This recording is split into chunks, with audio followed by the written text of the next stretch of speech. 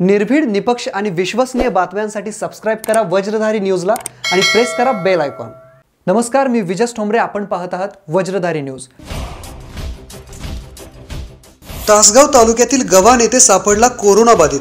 अहमदाबाद वरून आलेली mini bus ठरते कोरोना बस. अखेर तासगाव तालुक्यातील गव्हाण या गावातही कोरोनाबाधित सापडल्याने तासगाव तालुक्यातही कोरोनाचा प्रवेश झाला आहे. चार तारखेला अहमदाबादवरून आलेली बस कोरोना बस ठरताना दिसते आहे.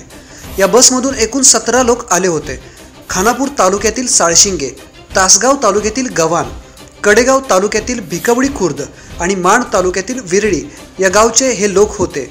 या सतरा लोकांपैकी साळशिंगे येथील महिलेचा कोरोना चाचणी अहवाल पॉझिटिव्ह आला तर काल रात्री विरळी येथील याच बसमधला दुसरा रुग्ण पॉझिटिव्ह असल्याचे समोर आले. आज त्याच बसमधला तिसरा व्यक्ती कोरोनाबाधित असल्याचे स्पष्ट झाले असून सदरचा व्यक्ती हा तासगाव तालुक्यातील गव्हाण गावचा आहे.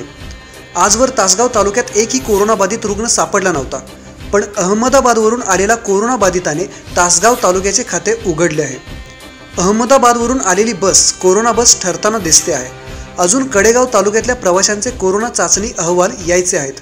तसेच साळशिंगे येथील बाधित महिलेच्या संपर्कात आलेल्या इतर लोकांचेही अहवाल कसे येतात याकडे सांगली जिल्ह्याचे लक्ष लागले आहे.